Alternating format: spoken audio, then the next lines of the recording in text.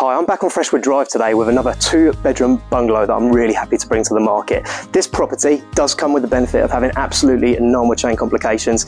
And as discussed previously, Freshwood Drive is set upon one of the most quiet residential areas in Yateley.